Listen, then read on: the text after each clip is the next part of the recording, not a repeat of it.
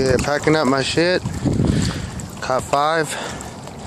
Five keepers fatty too. Look at that. Bigger than my hand. Probably two, three pound each. Got on all lures. Ready to head home. Good day fishing, smallmouth bass, baby. Oregon.